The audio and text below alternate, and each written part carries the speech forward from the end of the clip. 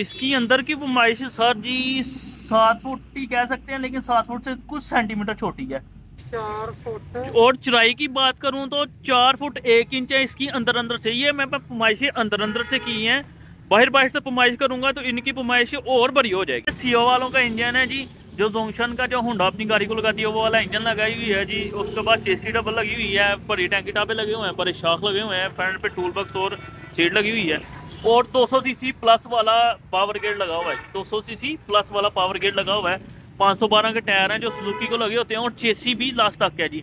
ये नहीं है कि अगर बॉडी भरी की है तो चेसी छोटी रहने दी है चेसी भी लास्ट तक ले गए हैं। और बॉडी भी पूरी चेकर शीट की फूलों वाली चादर की बनी हुई है, जो बीच में चादर लगी हुई है, वो ही सेटों में लगी हुई है। इसको सीवा पैंथर सात फुट वाली गाड़ी कहा जाता है। रेट की बात कर लूँ तो ये आपको मिलेगा तीन लाख साठ हज़ार रुपये का।